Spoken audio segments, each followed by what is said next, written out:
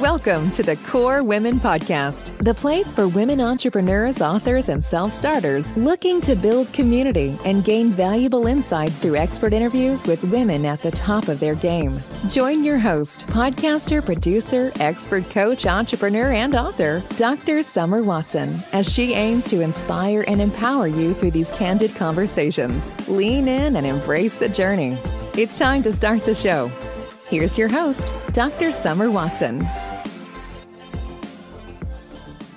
Today on the show, I would like to welcome Smita Joshi, who is an award winning author, avid yogi and teacher, mentor, and high performance transformation coach. Smita is the author of the Amazon bestseller Karma and Diamonds trilogy, a journey of self discovery across continents and lifetimes. She has had a 25 year professional history of working with technology giants and transitioned from that to curating a personal and professional journey she is passionate about. She is also the host and creator of her YouTube channel, the Self Discovery Channel. We have so much to explore and talk about today, so let's jump right into this. And welcome, Smita. Hi, Summer. How are you doing? Thank you so much for having me on the show. I am doing great. But before we dive into more of those professional aspects of your life, let me ask you a question. How would you describe your journey in one word thus far? Liberation. Liberation. Can you tell me why that word is so meaningful for you? I was going to say freedom, but actually liberation is probably more accurate. And the reason why that word is, is really, um, accurate for me is because everything that I have focused on, everything that I've been working on in my inner journey and then creating externally is really about freeing myself from the limitations that either I grew into, I, I grew as in, as in I, I took birth into the situations, the circumstances that ensued, just the internal dialogue aspect of it, the limitations that we constantly, I certainly find out myself coming up against, constantly pushing up against in terms of my boundaries of consciousness. So it's always about setting myself free from something in order that I can take the next giant step. And so for me, the word liberate, and also the, the liberation, I guess, coming from uh, the Vedic context, it's really the Indian philosophies are really truly, spiritual philosophies are truly about uh, liberation, as in like creating freedom from, they, we call it moksha or yeah, let's say use the word moksha. Moksha is really always referred to as the the freedom from the cycle of birth and rebirth because in, in between it's in those cycles that you you create you do things and therefore you you gather more impressions you know more evidence for certain things and evidence against other things. And some of it sticks. And, and so you know we we kind of shape ourselves in our living experience lived experience. And so moksha is really referred to as the freedom from the cycle of birth and rebirth. But in fact, the true meaning, as I come to understand it, is more about freedom from the constraints um, that we have of our own self awareness uh, and how we understand the world. Often we understand the world in ways which are we see things through certain filters. And so we're not seeing the true picture of what's really out there and what life actually is. And so we often think that we have the answers and we're seeing things accurately, but in fact, we're not because our own perceptions are so sullied with our own experiences. So the, the idea of liberation for me is the journey of transformation, self discovery, all of that is really about setting myself free from the illusions that you know I'm seeing life through, such that I can truly access. Uh, I can access the the the the the true consciousness or the consciousness that that exists beyond the limitations of my material existence and of my human mind because uh, you know my emotions feelings everything that gives me the impression that this is how life is and then only to realize that actually it's not it, there is no is and so liberation is really the idea of looking at life beyond my conditioning. Gotcha. No, I get that. I absolutely get that. First, you've mentioned so many things that I can attend to. So, for instance, the lived experience. I come from a research background from phenomenology, and that's just a fancy word of the lived experience. And really just taking the idea of being objective and being able to recognize and be in that lived experience. So I love that you mentioned that. I love that you mentioned the conditioning. And again, that goes back to the psychology of operant conditioning, what we've been conditioned to believe, what we have been conditioned to learn throughout our lives, and how do we separate that from what we truly believe and how we're actually living in that liberation, right? That you talk about. It is so important, so valuable. So, my next question is let's talk a bit about your personal journey, such as where you grew up and what influenced you and how you developed your purpose and passion. I was born in India in a port town called Porbandar, which is best known for being the hometown of Mahatma Gandhi.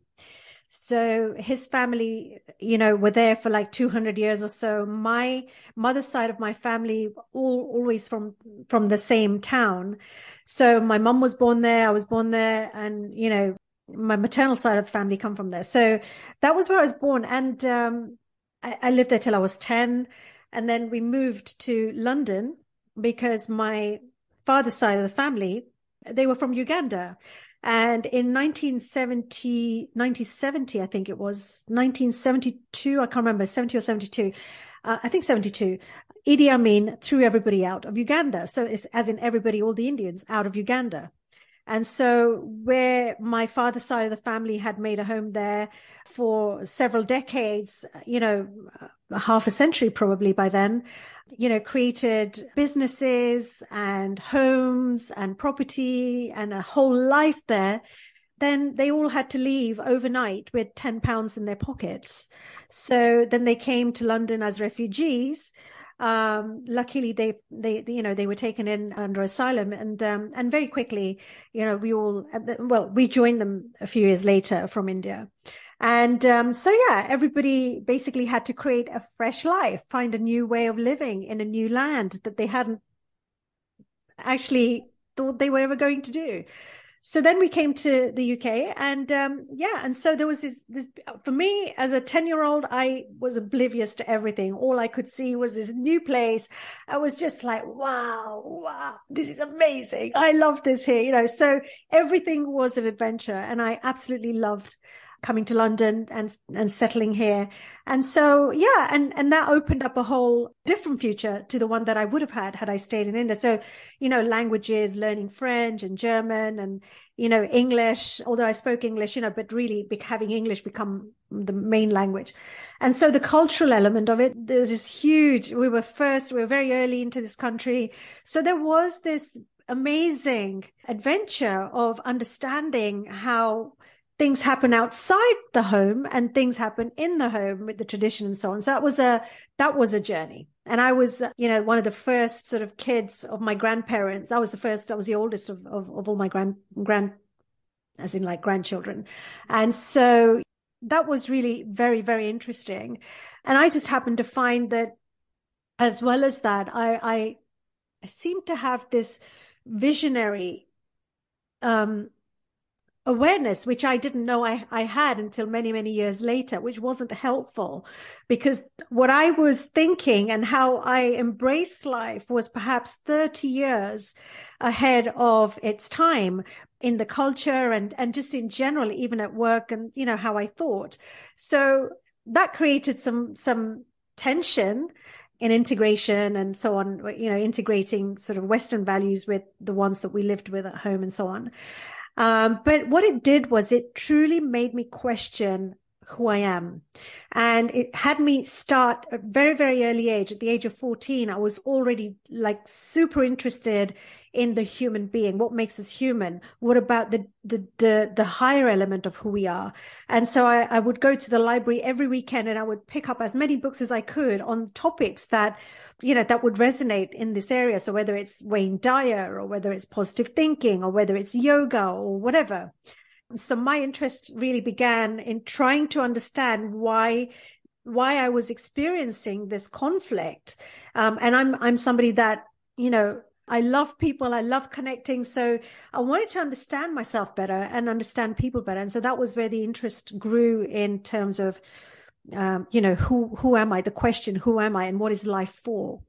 And and that became really very interesting to me alongside of everything else that I did in life. So study started working when I was 20, had my first placement, you know, bought my first place when I was 21, working in a corporation. I made enough money in the first year to go and buy my first property and uh, so on. So, you know, um, alongside of that, that question never quite went away. It was never quite went away. It was very deep. And so I, I got more and more into, you know, meditation. My, I'd grown up watching my dad meditating since I was a child. So that was something that I hadn't been taught, but I, but I sat down one day, came home and I just wanted to have some questions answered. And I wondered whether I might try, you know, doing what he did. You know, maybe I'd try meditation. I didn't know what to do, but I just closed my eyes. And that was where a lot of things started to bubble from being deeper into my consciousness into coming into the surface of my consciousness and i started you know that's that's truly where the journey began i think for me hmm. i love that evolution and how you were trying to not just acculturate but really find yourself in all of that change and i wouldn't say chaos but just change and evolution right and mm-hmm. so I get it. I really get it because I come from a background, a very diverse background. My dad is Filipino and Hispanic, and my mom is Armenian and European. And so I was always trying to find out who am I in all this? What is this like? And a lot of people would make assumptions about who I am culturally, or, you know, so people would laugh at me when I went to UC Berkeley. They would say, Are you a culture major? Because I would take all these culture classes to find out and learn and dig deeper right? Because I, like you, I love people. And then I started studying phenomenology and people's lived experiences and understanding that better. And so I realized at that time, like you, you have a passion, you have a purpose, you have a vision. And my vision was that I wanted to be inclusive. And that didn't mean being exclusive, being part of different groups. It means being inclusive of the world, of the people. And so my perception about how we function, the lived experience was a little different than others. And so I think it was stretched because of those experiences that we went through. So we love hearing about your experience, how that created a passion for you, and then how that curiosity, your curiosity, when you came home, when your dad was modeling that meditation, you leaned in and said, I want to learn about this. I want to try this. And as you said, things started bubbling things started happening. And so that's where that passion started to really blossom. So I love that about your story. So let's talk about, and you touched on this a little, overcoming that past and how you approach this on a personal level, and then how you support your clients in overcoming the, their past in order to thrive. This is something that you talk about. So if you could touch on that, I would love to hear what you have to say. You know, Summer, I think one of the biggest things that I am surprised to learn about human beings is that you truly don't know another person. You know, one of the things as a as a coach and as a, a mentor and as I grow as a human being, I've realized is that it's so, so wrong. And there are not many things that are wrong, but this would be so wrong for me to assume that I understand you because you have said a few things, for example, where we may have a commonality of experience. But it's so important. Uh, uh one of the things that I've learned when I'm coaching uh, and supporting somebody else on their journey is to assume that I get their experience. It's important not to do that because we really don't understand how it occurs in somebody else's world. It may resonate at a certain level, but it's a very, it's, it's really important to give them an opportunity to show up for themselves and to explain things and to share things. And I think this is where a lot of relationships go wrong because people do make assumptions that they know you.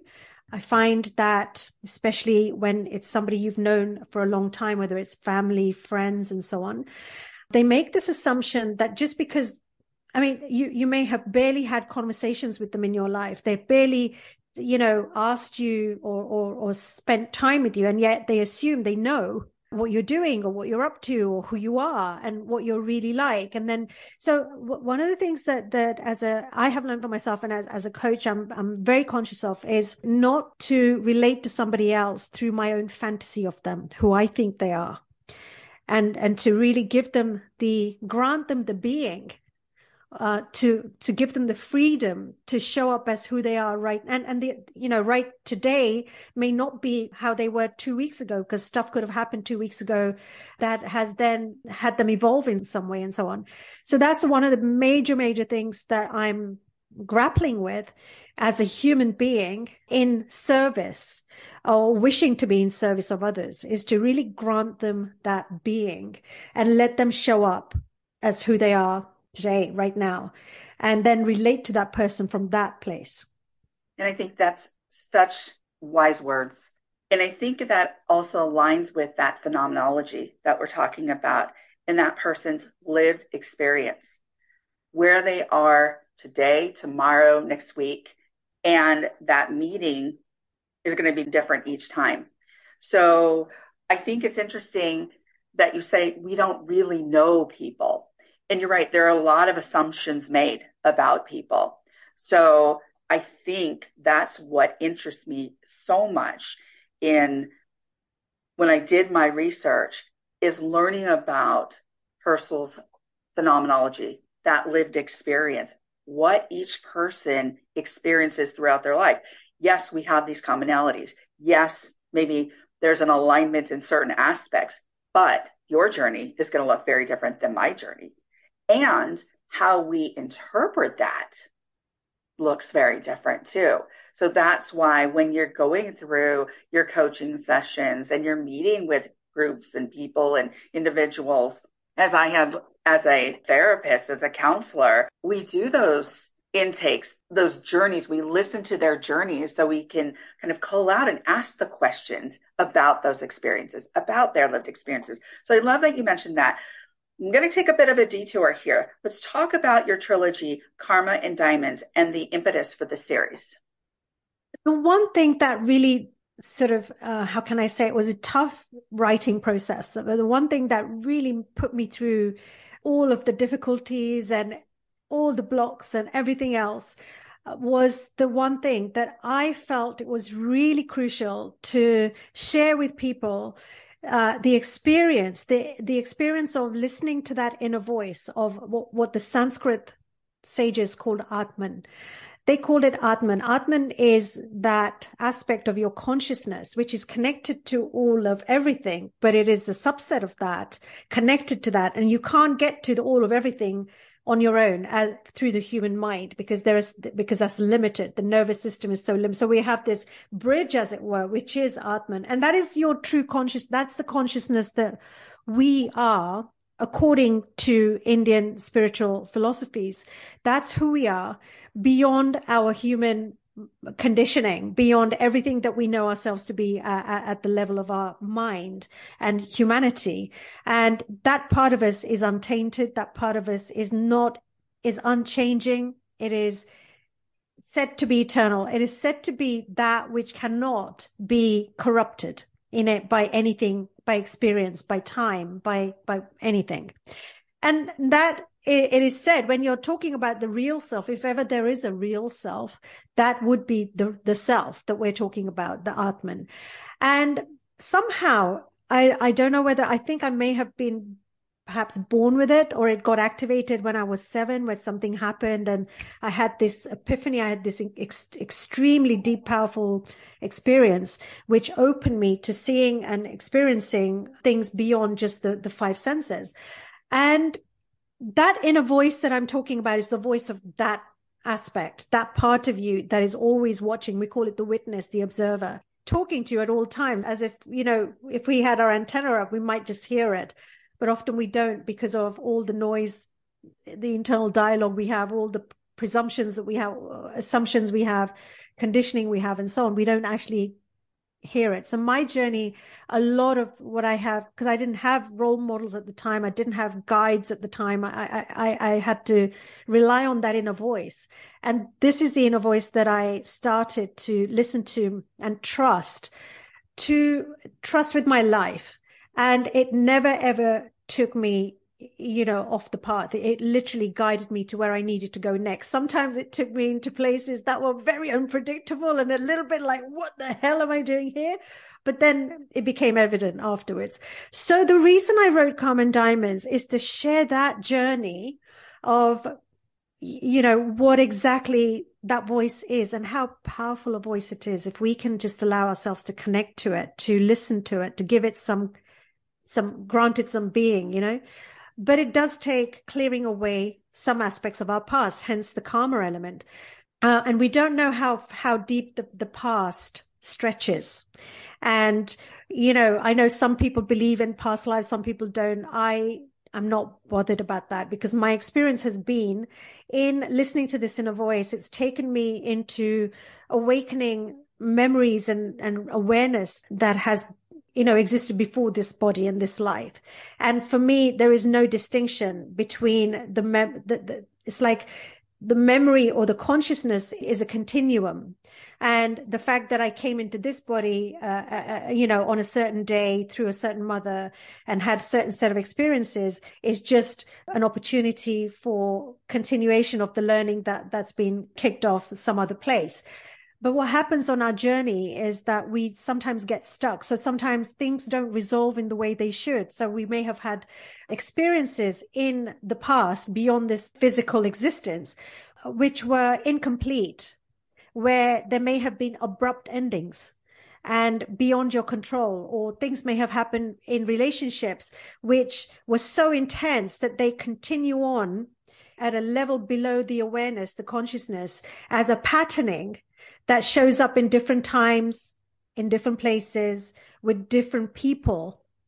And the outcome and the experience is very familiar.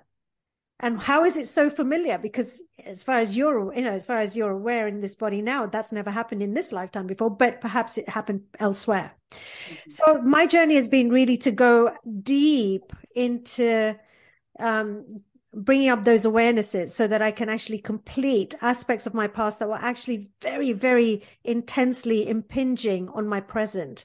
And I couldn't understand why certain outcomes were not taking place, despite the fact that, you know, I was making the right effort. I was getting the right support, whatever, you know, and sometimes I wasn't getting the right support because there was some sabotage going on. So, so that's the journey that the Karma and Diamonds is really about and, and how I managed to get that deep and be taken to exactly the experiences that I needed to be was by listening to this, this very silent, very wise guidance um, and going, it, it, includes going to places like a certain library, opening a certain book, not that this other one, but only this one, making a trip to, to some place like Santa Fe or Bali or India or whatever, and just meeting that one person who then was able to take me on the next, you know, on the next stepping stone and the next one. So I wrote Karma and Diamonds because I, I wanted to share that journey. It, it, it reads like fiction, but it's actually, you know, they say fact is often stranger than fiction. So that's, that's what Karma and Diamonds is.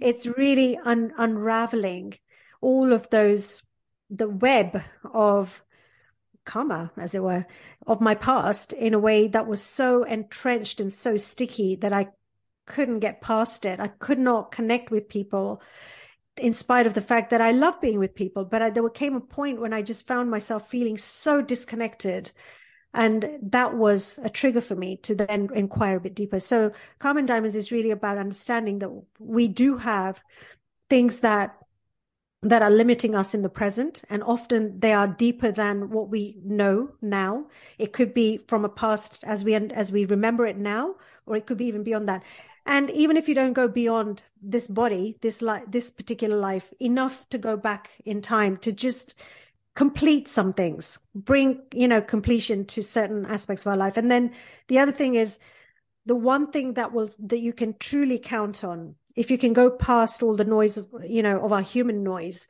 then perhaps the voice that is guiding you. Ask for its guidance. Ask it to show you the way forward. What should I do next? Where should I go next? How can I really heal so thoroughly and deeply? And it will take you there. And that's the journey that I'm sharing. I love it.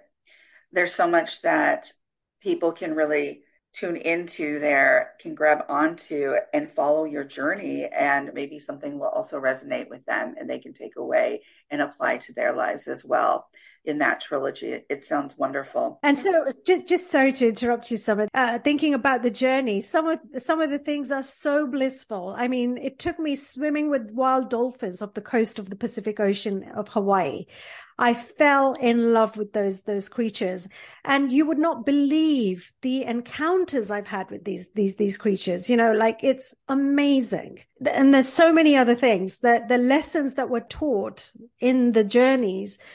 You know, they they're epiphanies that they can't revert you back to your previous state. They're so deep and so powerful and joyful.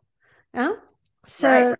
absolutely, and I hope that every person can experience that. And you've touched on a lot of different things in relation to your journey, your past, why you wrote Karma and Diamonds, um, how this evolution occurred, your purpose, your passion, all these various things.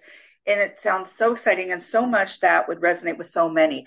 Touch on briefly your YouTube channel, the Self Discovery channel. Can you just tell me what that's about? It started out when I was uh, presenting for a TV channel where I was interviewing uh, people in the House of Lords, House of Commons here in in London in the Parliament, and and then uh, I just thought I I wanted to just have a holding place for for those those interviews. So I asked them if I could have those interviews. I just put them there, and then I wanted to develop my own content. So I started to really reach out to the, the gurus who have big followings in the world. And some of them didn't in those days um, when I first started. And they today have like millions and millions of people who are devoted to them. So I, I interviewed entrepreneurs, gurus, and so on, and, you know, tried to extract as much knowledge and wisdom as I could from anyone who would talk to me. And then after a while, I felt that, you know, the, the YouTube scenario was changing. And um, I wanted to create my own content too, but I didn't quite know how. So I, I then stepped back a little bit and then I figured that out now.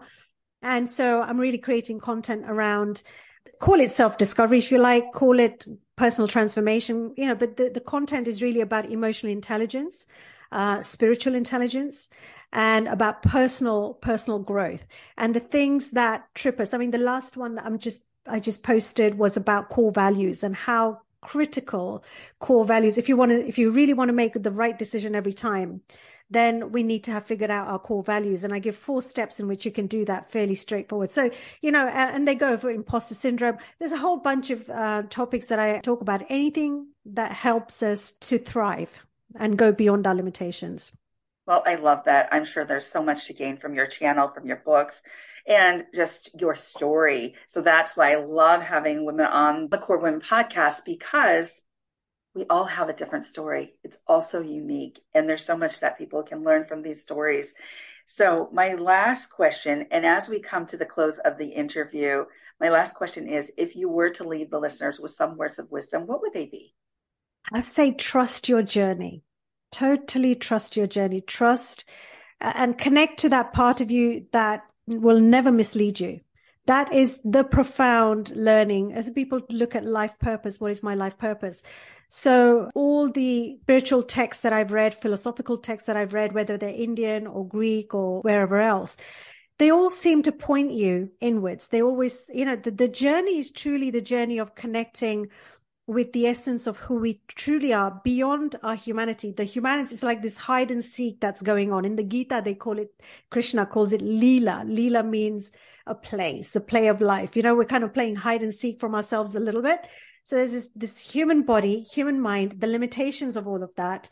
And then there's this vast consciousness that we are beyond all of that, that we um, that is just just there. It's just all the time there. It's just like got nothing else in time to do but to but to play you know so the the real purpose whether whether you think you know your purpose is to i don't know create some large technology company or whatever it is but essentially as human beings with a divine essence it's really to integrate with that essence, you know, with becoming more and more of that. So our self expression is more and more given by that higher consciousness, that consciousness that is freed itself from the illusions, the veils of Maya, the, the illusions that we have as human beings.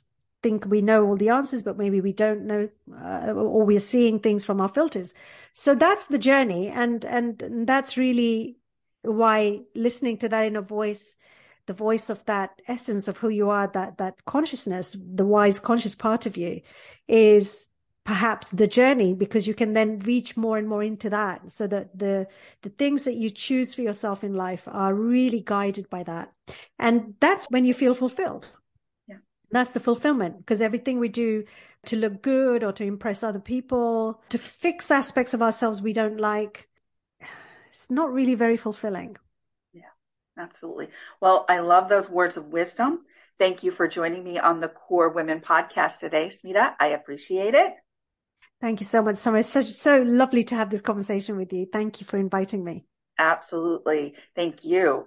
You can follow Smita Joshi on Facebook at Karma and Diamonds, Twitter at Smita underscore Joshi, on Instagram at Smita Joshi 108, Smita Joshi on LinkedIn on YouTube at Smita Joshi TV and www.smitajoshi.com. Thank you for joining us on the KORE Women podcast with Dr. Summer Watson. We're so glad you're here and would love to connect more with you. Find us on Instagram, Facebook, and YouTube at KORE Women and on Twitter at KORE Women One. For more about KORE Women and Dr. Watson, visit korewomen.com. Want more support and resources for amazing women like you? Great! Join Dr. Watson and Jen Fontanilla at the Life, Love, and Money Collective, a KORE Women production that aids in understanding the key traits that might be getting in the way of living a life that you are absolutely passionate about. Connect with Summer and Jen and find out more at thelifeloveandmoney.com.